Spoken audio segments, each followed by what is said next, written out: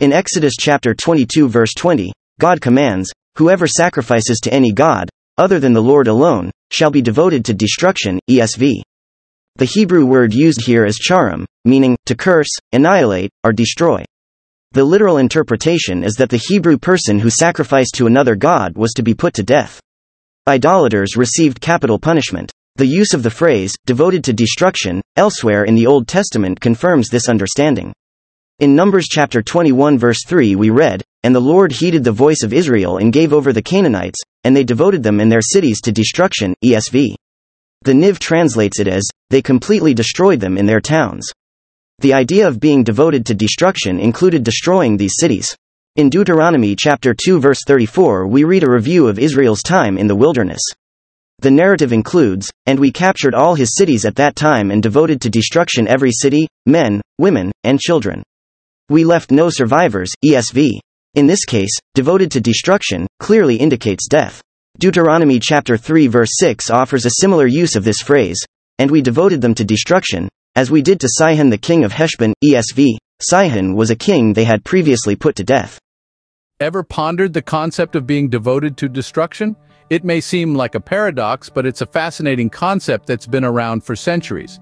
Now, when we speak of being devoted to destruction, your mind might race to thoughts of chaos, devastation, or perhaps even anarchy. Yet, it's not just about the physical obliteration of things, it's a multifaceted concept that often intertwines with the very fabric of human history, philosophy, and psyche. From the earliest civilizations to the modern world, this paradoxical devotion has manifested in various forms and contexts. It has been a driving force during wars, revolutions, and even in the pursuit of scientific discovery. It's a concept that has journeyed through time, evolving and adapting, yet retaining its core essence. So, ready to delve deeper into this enigma? Let's dive into the origins of this intriguing concept and see how it has evolved over time. The concept of devotion to destruction has roots in ancient times, often tied to religious beliefs and rituals. Let's take a step back in time and immerse ourselves in the world of the ancient Aztecs. This civilization, flourishing in the heart of Mexico, had a religious practice that might make your skin crawl today, human sacrifice. Yet for the Aztecs, this was not a gruesome act of violence, but a devout demonstration of their dedication to the gods. They believed that by offering the life force of a human, they could appease and sustain their deities. It's a stark reminder that devotion to destruction was not always seen as a negative concept, but rather a necessary part of maintaining balance in the universe. Moving across the globe to the ancient lands of Israel, we find another example in the concept of herem. This was a religious commandment that called for the total destruction of enemies, people, animals, and property alike. It was a part of their warfare and seen as a divine mandate. This was not an act of gratuitous violence, but a demonstration of their faith and devotion to God. These examples might seem extreme, but they underline a crucial point. The notion of being devoted to destruction is not simply about mindless obliteration.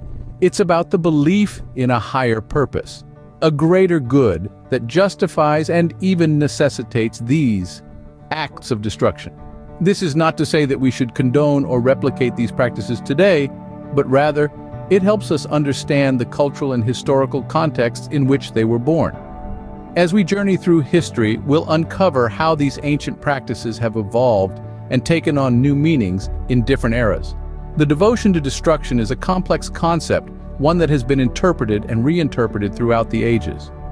As we can see, the concept of being devoted to destruction was not always as negative as it sounds today. It was often a part of a larger belief system. Moving forward to the Middle Ages, the concept of devotion to destruction took on a new form. As we journey into the Middle Ages, a time of knights, castles, and the Crusades, we find the concept of devotion to destruction evolving. While the ancients may have interpreted it in terms of physical conflict or natural disasters, the Middle Ages saw the concept wrapped in an intricate tapestry of religion and politics. Imagine a time when the world was largely ruled by the church, where religion was not just a personal belief but a societal framework. It was in this context that the idea of a holy war emerged. The Crusades, a series of religious wars sanctioned by the Church, were embroiled in this very idea. Soldiers, known as crusaders, were not merely fighting a war.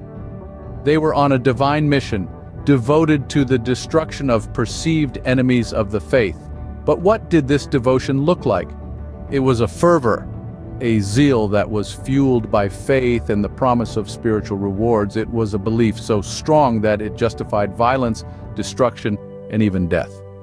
This was a time when devotion to destruction was not seen as a negative trait, but rather a necessary sacrifice for the greater good, for the preservation of faith. Yet it wasn't just about religion. The concept of devotion to destruction also played out on the political stage. Kings and queens used it as a tool, a means to consolidate power and control territories. This devotion was displayed in the form of wars, invasions, and strategic alliances, all aimed at the destruction of rivals and potential threats. The Middle Ages, a time often seen as dark and chaotic, offered a new perspective on devotion to destruction. It was no longer just an act of physical force or a result of natural calamity. It had turned into an ideological tool, a lever used by the powerful to shape societies and control masses. The Middle Ages gave the concept a new form, making it a part of the political and religious discourse. In the modern era, the understanding of devotion to destruction has again shifted. Once a concept rooted in warfare and religion, it has evolved to take on a more psychological and introspective meaning.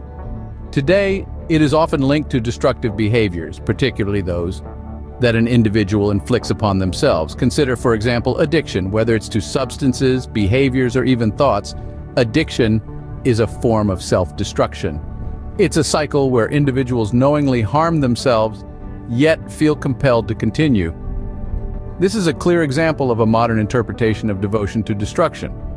A persistent, almost obsessive, engagement in actions that one knows are harmful. Similarly, self-harm is another manifestation of this concept. Here, the destruction is not metaphorical but literal, yet the principle remains the same, a devotion to actions that cause harm despite awareness of their destructive nature. Literature, too, has embraced this concept, often using it to explore the human condition. Authors weave narratives about characters who are devoted to their own downfall, their stories serving as a mirror to our own struggles and fears. It's in these tales that we see the concept of devotion to destruction at its most poignant and powerful. Philosophy as well grapples with this idea. Thinkers have pondered the allure of destruction, why we sometimes feel drawn to what harms us. They've proposed theories, from the search for control to a desire for transformation, all attempting to decipher this complex relationship we have with destruction. The modern interpretation of the concept is much more personal and introspective, focusing on the individual's relationship with destruction. It's no longer about the wholesale destruction of cities or peoples, but about the battles we wage within ourselves. It's about the destructive behaviors we engage in, the harm we inflict upon ourselves, and our strange devotion to these acts of self-destruction. Today, the concept of devotion to destruction plays a significant role in our societal understanding of destructive behaviors. It's a fascinating paradox, isn't it? This idea that a person can be so devoted to a path that ultimately leads to their own downfall. We see this concept woven into the very fabric of our discussions around mental health and addiction.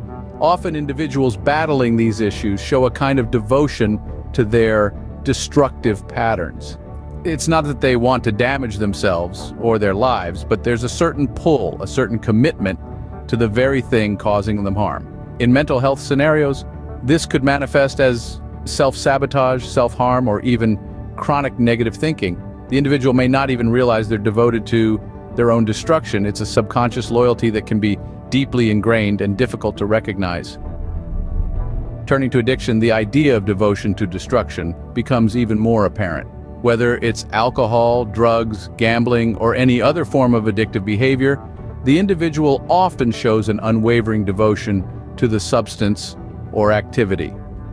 Despite the clear harm it's causing, there's a relentless pursuit, a fierce loyalty to the source of their destruction. So where does the role of this concept fit in therapy and recovery? Well, understanding this devotion is often the first step towards healing. Recognizing this self-destructive commitment allows individuals to challenge it, to question why they're so loyal to something so harmful. It's about breaking down the devotion, dismantling it piece by piece, to make way for healthier commitments. In a broader sense, understanding the role of devotion to destruction can also help society create more effective prevention and intervention strategies. It's not just about treating the symptom, but understanding the root cause, the devotion that's driving these destructive behaviors. The concept has come a long way from its ancient roots, but it still holds a significant place in our understanding of human behavior. It's a reminder that sometimes the things we're most devoted to can also be the things that cause us the most harm. What does the future hold for the concept of devotion to destruction? That's the million-dollar question, isn't it? As we stand on the brink of a future ripe with possibilities, the evolution of this concept is more intriguing than ever, in the realm of psychology, we're constantly uncovering new layers of the human mind. These strides in understanding mental processes could greatly influence our interpretation of devotion to destruction. Will we find that this devotion is rooted in some deep-seated cognitive process? Could we, with the help of advanced psychological techniques, steer individuals away from destructive tendencies and towards more constructive pursuits? These are questions that psychology might answer in the not-so-distant future. Now, consider the field of neuroscience. This discipline has already given us fascinating insights into the workings of the human brain. With the advent of sophisticated neuroimaging techniques and a growing understanding of neuroplasticity, we may be able to pinpoint the exact neural pathways involved in destructive behavior. Imagine being able to identify and even alter the neural circuits that fuel a person's devotion to destruction. It's a tantalizing prospect, isn't it? But as our knowledge expands, so does the complexity of the questions we face. Will we ever be able to fully comprehend why some individuals are drawn to destruction? Is it a product of nature or nurture, or perhaps an intricate interplay of both? And if we do manage to unravel this riddle, what ethical considerations will we then have to grapple with? The future of devotion to destruction is shrouded in uncertainty, but one thing is certain. Our understanding of it will keep evolving. As we continue to explore the depths of the human mind and unlock the secrets of the brain, we may find ourselves redefining what it means to be devoted to destruction. Only time will tell how our understanding of devotion to destruction will continue to evolve. And as we venture into this uncharted territory, we can only hope that our discoveries will lead us towards a more empathetic, compassionate understanding of this complex phenomenon. We've covered a lot of ground, from ancient rituals to modern psychology. In our journey through time, we've traced the evolution of the concept of devotion to destruction. It's a fascinating trip, unraveling the threads of history, culture, and human nature. Let's take a moment to look back. We started with the ancient origins of this concept where it was often tied to religious rituals and war practices.